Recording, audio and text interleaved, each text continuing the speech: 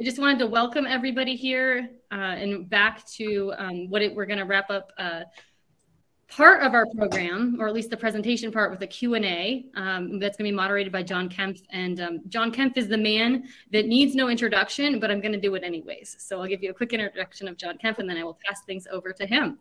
Uh, so John Kempf is leading, a leading crop health consultant and designer of innovative soil and plant management systems. He is founder of Advancing Eco Agriculture, as well as the founder of Kind Harvest, the agriculture social network. John is the host of Re- the Regenerative Agriculture podcast, where he interviews top scientists and growers about the science and principles of implementing regenerative agriculture on a large scale.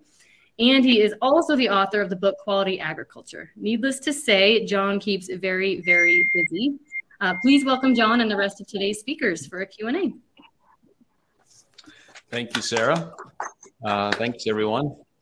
Yeah, you, I think I can, you. That's the first time anyone has ever introduced me as uh, keeping busy. But uh, you know, I have so much fun at what I do that it doesn't really seem that way most days. But then some days, yeah, it does. All right. Well, I want to say thank you to all of you. The the presentations so far over the course of the day have been an absolute delight. The energy has been very fast paced and intensive. We've had lots of really great questions from our audience. So thank you to our audience for everything that you've brought. And there is uh, there are still lots of really great questions left over from the presentations that we'll go through and, and get some of those as well if we're able to. And I'm sure more questions will be coming through here. So for our audience, you're welcome to ask any questions um, that we didn't get to in the Q&A or in the chat, and we'll get to as many of them as we can. To kick things off, uh, I want to ask a question. Uh, I'm going to ask this question of the group. Each of you can, uh, I'd love to take, for each of you to take just a couple of minutes to answer this question. Um, what is it that you wish all farmers knew? As, as farmers begin making this transition or begin considering regenerative agricultural practices, and they come from a background where they have not had uh, this level of experience or exposure to regenerative agriculture. What is it that you wish all farmers knew to help them on their journey? And so, Dennis and Steve, I'm going to go to you first. oh, that's a great question, John. And I guess my answer as we head down this path is I will say it's okay to be judged by your neighbors. And the way I'll answer that is a lot of times in agriculture, we do things that may not be good regenerative principles because how we are judged by weeds, how we're judged by tillage, how we're all those things that disrupt the regenerative process. You know, there's a, you know, the, the good old boy group of farmers are all get together and they talk about you. The so, coffee club? Yeah you know so i would i guess i would say that and uh, the highest yield at the coffee shop is not always the most profitable farmer. Um, so i guess those would be the things that i would say. It's okay to be judged. All right. Thank you dennis oh and, i didn't see steve participate in that response so well, specifically excluding him this time.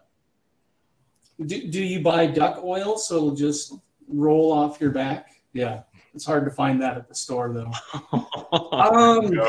if if everyone could come in with observation and evaluation skills, I think that it would be a significantly different matter. I think that the approach would be different, and I think that people would have probably an easier time. There's there's so many times where we'll go to a farm, we'll go to a fields, um, and people that are used to conventional, especially with Dennis. I mean, people look at Dennis like he's weird to begin with, but when the first thing he does is goes out, pulls out his Leatherman, chops up some soil, and starts sniffing stuff.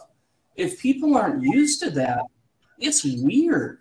But the reality is, our senses are unbelievably incredible. I mean, our nose can differentiate millions of different smells. We have this ability to pick up on these. And as you train yourself, you can start incorporating those. So, starting off with the observation, like Stephen said, taking that data, if you take too much and you can't digest it, it basically becomes useless. So observe, know what you're observing, and mean, see what you see.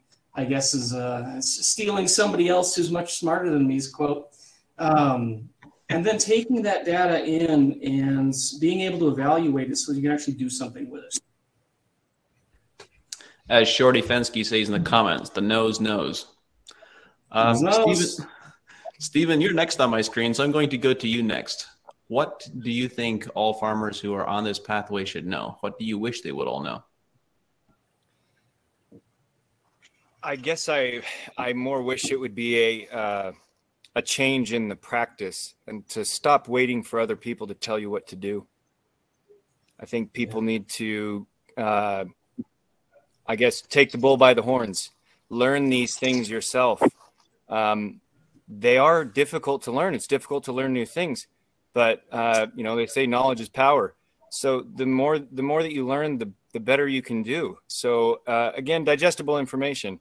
But if someone else is smarter than you, especially the people that I see on this screen around me, um, you guys are all smarter than me in very specific ways. And I know that if I have a question about one of those things, I know who I'm asking because I don't know and I want to know. And if that's something that's going to bring value to me, then I need to know. So I wish farmers would would at least, I guess, in that sense, I wish they would know that they they need to be asking these questions themselves a lot of times and then finding out the answers and not relying on someone else to tell them when or how to do something. Stephen, you make a great point. You had a slide on your slide deck that you didn't get the chance to really expand on, which was write your own book. Yes. And I could have spent a lot of time on that. could you elaborate on that just a bit, Stephen? I know you and I have had a, had this conversation. Yeah, for sure. Um, everybody has different ways they like to do things, and uh, there's there's no one perfect way. And if you're always trying to copy somebody else, you're always going to end up failing at something. So finding what works best for you is going to be dependent on you know the things that you grow your management style the people you have around you the products you have available to you what style of farming uh, conventional or organic so basically you need to figure out uh, for yourself what, what the goals are and then uh, find find the ends find the means to that end. And and you can do that. It's difficult and it takes a long time but um, by by taking those things yourself and saying i'm going to try this. I'm going to go this direction um, when you start seeing results like i've talked about before it's going to give you confidence. And and confidence comes from expected results happening. So so trying some things on a small scale is going to give you more confidence to try more things. And that's just going to build on itself. And eventually you start doing things that are so radically different from what is perceived to be normal that you don't even fit into normal anymore. And then you start producing 160 bins an apple of apples per acre instead of 50. Thank you, Stephen. Good place to be. Um, now we have to redefine the goalposts because we don't know where they fit anymore. That's so, right. Nicole, I'm uh, going to go over to you. What is something you wish all farmers knew? Thank you, John. And these questions are always hard because you've got to say one thing. And I think Stephen and Dennis and Steve, I totally agree with what you're where you're coming from. And I think one of my take homes is just how you're not alone, and it feeds in a little bit to what you were saying too, John. Is it, we find circles of friends might change, but that sense of like being totally isolated is there's a huge community out here. So getting in communication with whatever that looks like if that is events like this or WhatsApp groups or phone groups or there is always people that are wanting to share information on the ground and often willing to come and see your place or go and see others but stepping out of that sense of isolation i think is huge. And and then that even deepens down to the fact that you're not isolated in terms of your microbial life and you know you walk out in the fields and they all know that you're out there that um, there's so much life and diversity around us and probably my first action is to always dig a hole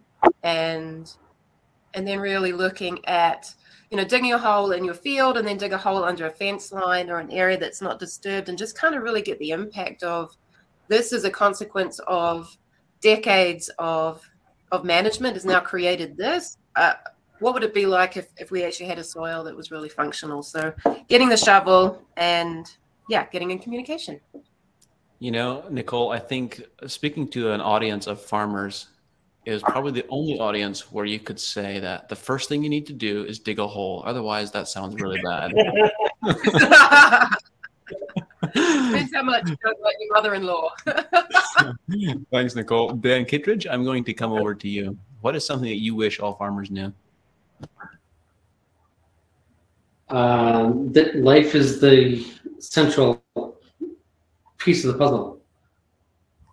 That it's only when life flourishes that anything else happens.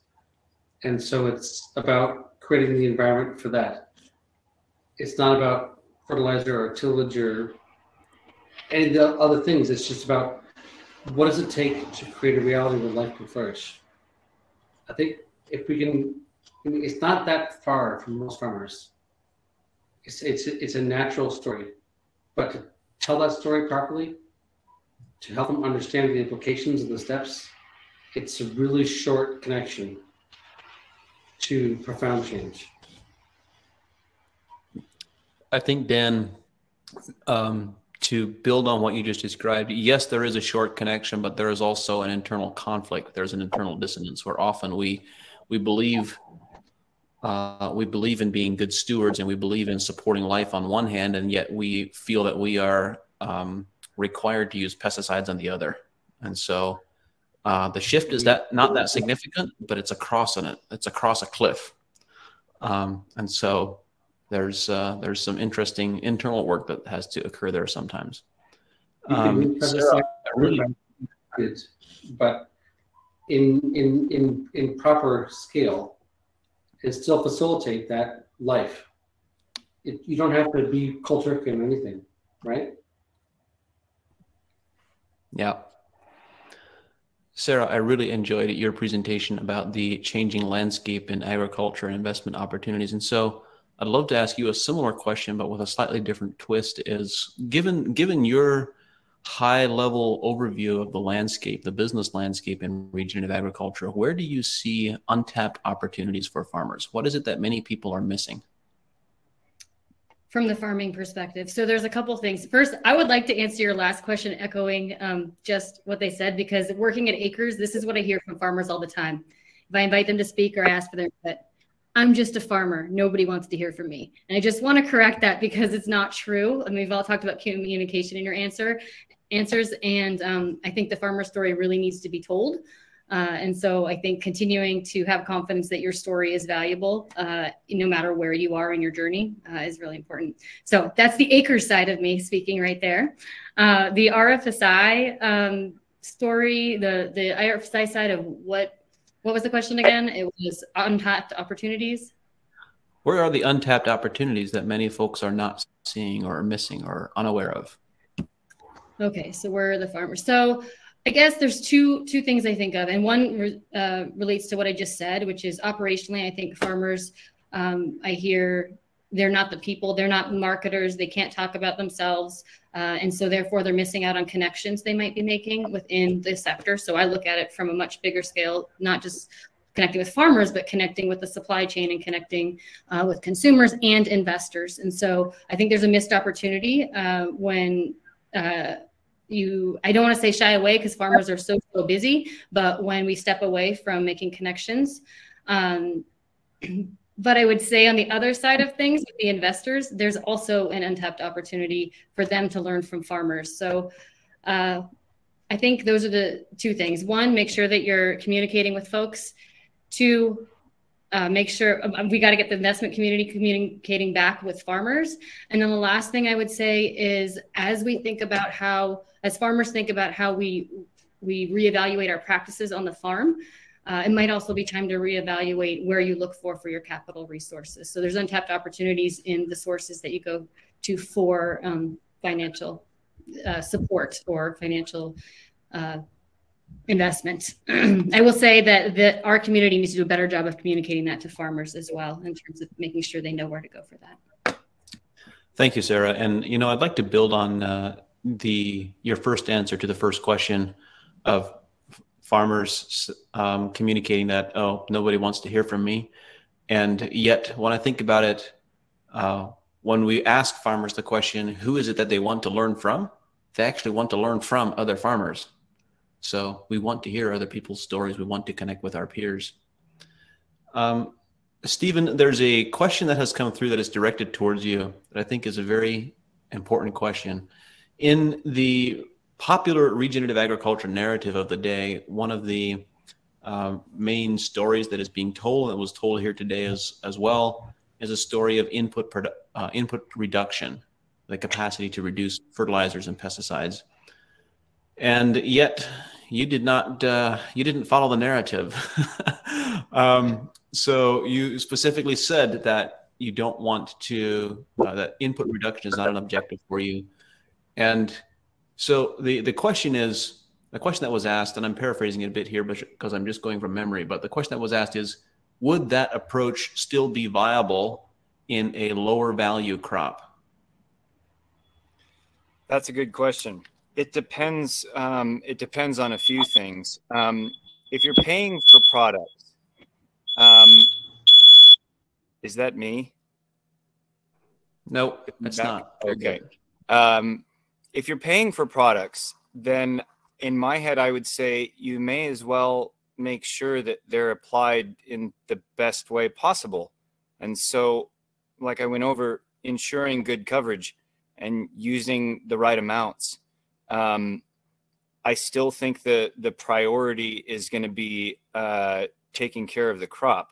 Obviously, there's a balance to it. You know, you can't be putting fifteen hundred dollars an acre into a wheat crop. That's not going to make you any money. So, so there's limits to everything. But as as often as you can, it you know, I think of it more in terms of if I can spend a hundred dollars to make a hundred and one, I'm going to do it. And the same thing is true for a thousand dollars or a thousand and one that I would make off of it. So the amounts might be less, especially to begin with, if you're moving towards regenerative things. Um, but those those numbers will increase after the first time you spend a thousand to make a thousand and one. The next time it might be a thousand and ten, and then it might be eleven hundred, and it will slowly increase from there. And you'll get a better feel of where you need to be focusing on, um, and what things will maximize those net dollars better. So I I, I know that's kind of a a difficult thing because you could say, well, are you going to spend a million to make a million and one? Well, no, there's a whole lot of effort involved in that. So you have to make your time worth something too. So everything is relative. So that's that's a little bit difficult, but um, I still think that for for my operation and for Orchard in general, I do think that cost savings should be a secondary priority to fruit quality being number one. Thank you, Stephen. Um, yeah, I'm not going to expand on that response given our timing sensitivity. There's a question here for uh, Dennis and Steve as well.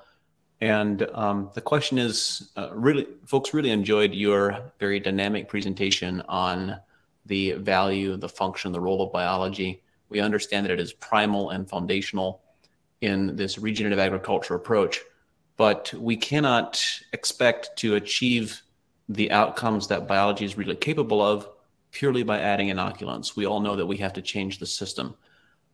What have you observed being the most significant, um, what's the word that I'm looking for, drag factors, factors that are holding back the development of microbial populations?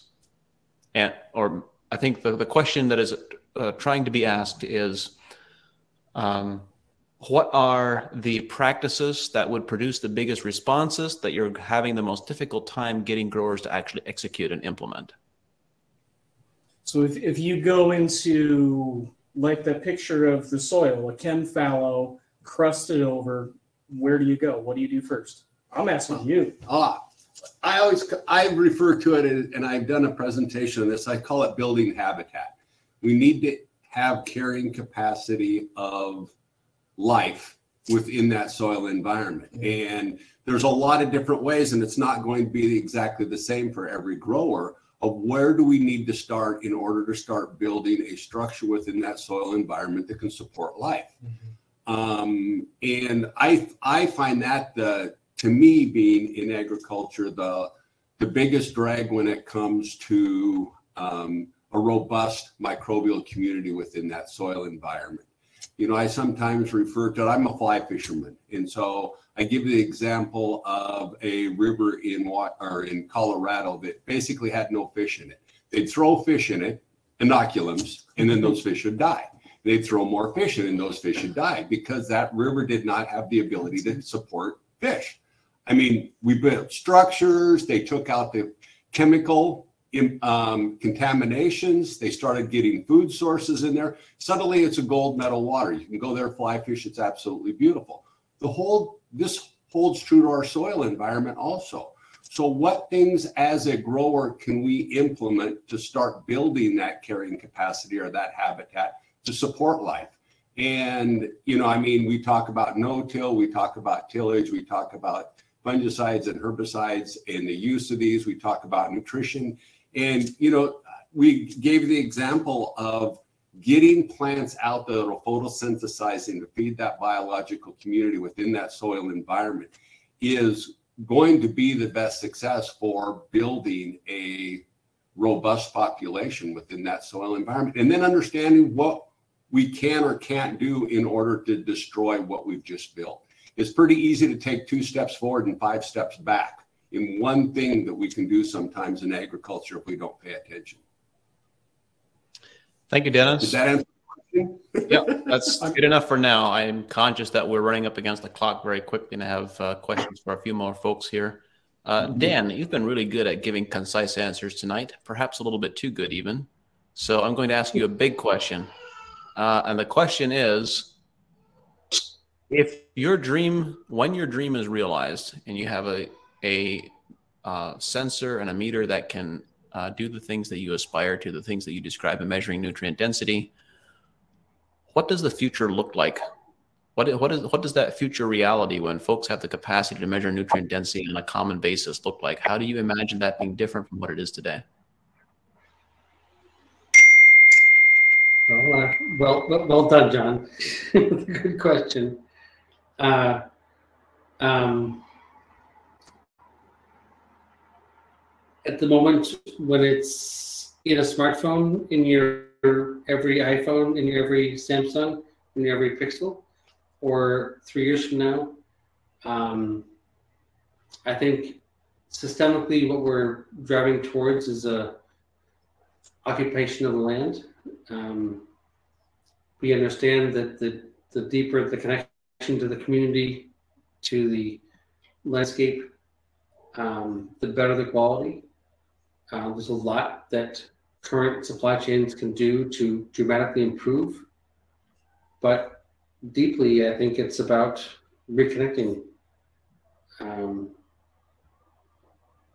how's that for a short answer? Hmm. I can keep going, of course. Yeah, I think uh, can you expand on that for us for just a little bit, specifically in the in food and agriculture, uh, general supply chains? When you talk, you you, you mentioned um, repopulating the landscape, and that's uh, from my perspective a very futuristic perspective. But what are the interim steps until? Uh, how do we? What, what's the pathway to having nutrient dense food be the majority of the food supply chain? Well, the growers that are producing higher quality are affirmed for it and offered premiums. It's, you know, it's imminent, basically. We've identified variation across dozens of crops. We've connected that to management. We're defining the true density across the board.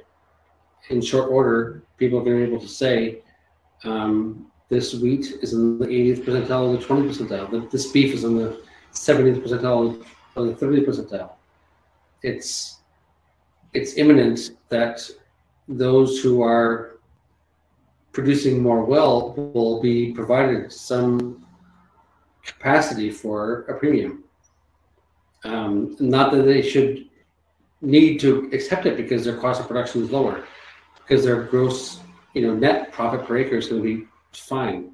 But either way, let it be that until it you know, spread more broadly. But I think the way we drive the regenerative proposition is through the quality of the food. I think the, the more powerful economic vector, than tons of carbon per acre, 30 bucks per acre for carbon, whatever it is for ecosystem services, 200 net per acre on nutrient density on a premium.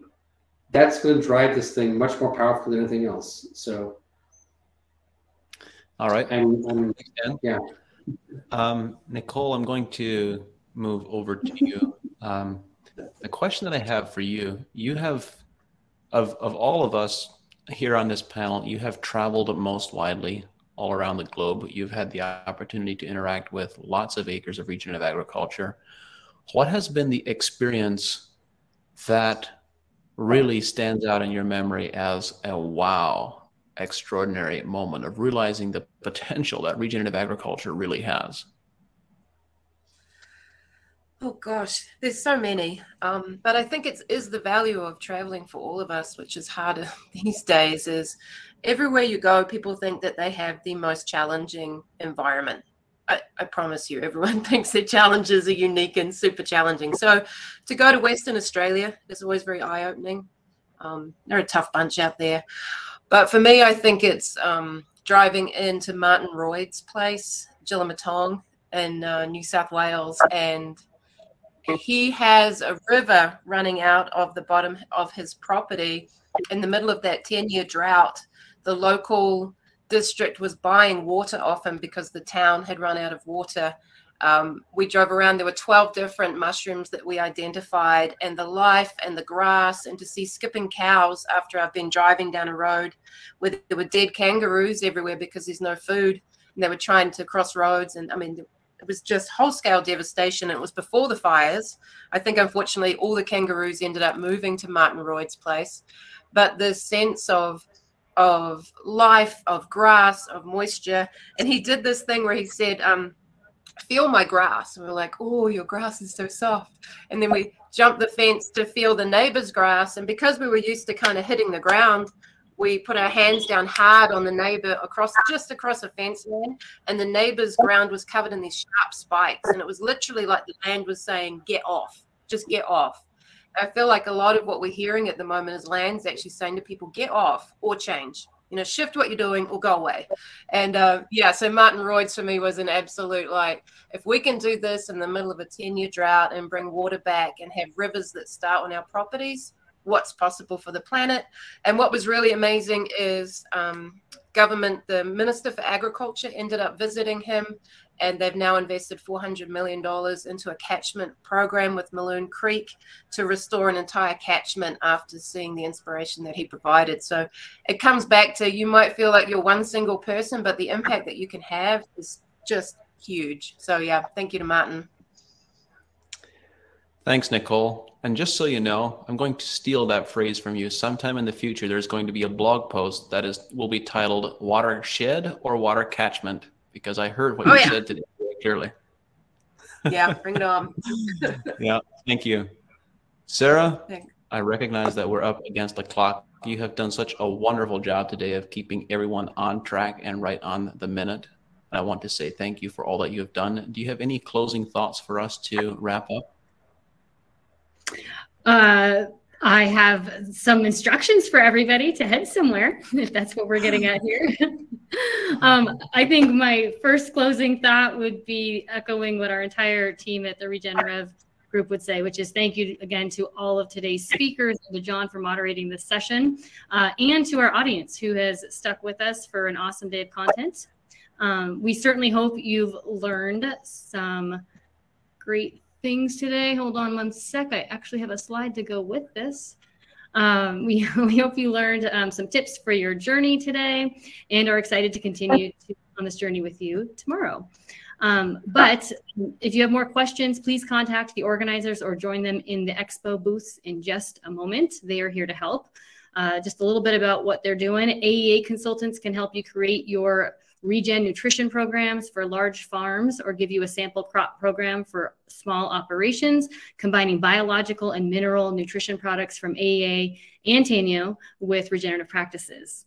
Uh, you can contact Tainio Biologicals for more information about getting started with biological inputs, which we've heard a lot of good things about today. Uh, and then you can sign up uh, for the Kind Harvest newsletter, the all in one resource, and community for regenerative agriculture. Connect with your peers and take courses and read exclusive content. And finally, you can sign up with um, all the newsletters of the folks um, who and get notified of the recordings and when they are available. You can follow Regen Rev on YouTube, Facebook, LinkedIn, and Twitter. How is that for a whole bunch of calls to action for you guys? We're going to keep you busy.